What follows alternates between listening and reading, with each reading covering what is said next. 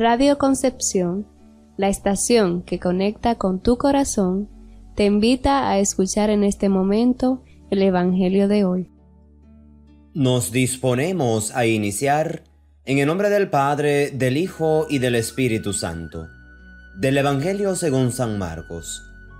En aquel momento, Pedro le dijo a Jesús, Señor, ya ves que nosotros lo hemos dejado todo para seguirte.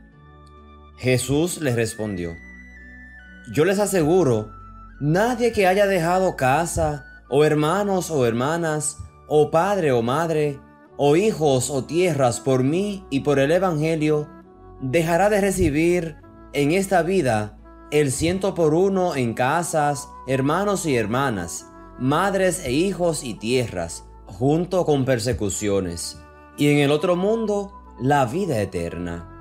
Y muchos que ahora son los primeros serán los últimos, y muchos que ahora son los últimos serán los primeros.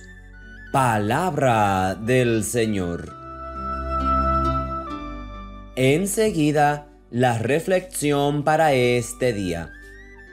Este Evangelio es una continuación de aquel en el que el joven rico se siente triste cuando Jesús le dice, ve y vende todo lo que tiene, da el dinero a los pobres y luego ven y sígueme. Ante la negativa de aquel joven para desprenderse de aquello que le ataba y le impedía seguir a Jesús más de cerca, al ver aquella escena, Pedro, que siendo pescador dejó todo para seguir al Maestro, le interesa saber cuáles serán las consecuencias de ese acto es como si tú o yo le preguntáramos al maestro cuál será la recompensa que tendremos por seguirlo a él. Y la respuesta es muy clara.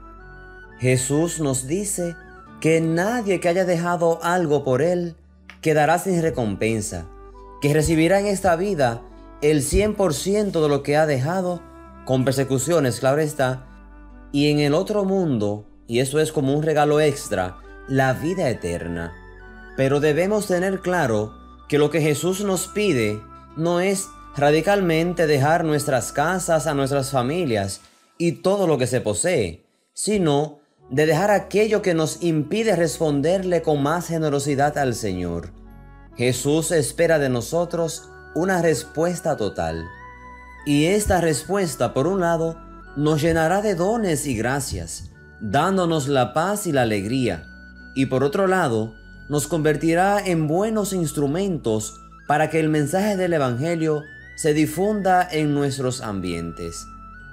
Teniendo presente, claro está, que Jesús nos alerta que por hablar de su palabra o vivir de acuerdo a como Él nos pide en el Evangelio, tendremos persecuciones, pues nos encontraremos con personas a las que les caeremos pesados por nuestro estilo de vida, pero eso no debe llenarnos de temor más bien servirnos de motivación para hacer nuestro trabajo con mayor fuerza, con más dedicación. En Radio Concepción, la estación que conecta con tu corazón, hemos presentado el Evangelio de hoy. Que todo lo bueno te siga, te encuentre, te abrace y se quede contigo, y el resto que pase de largo. Feliz día y que Dios te bendiga.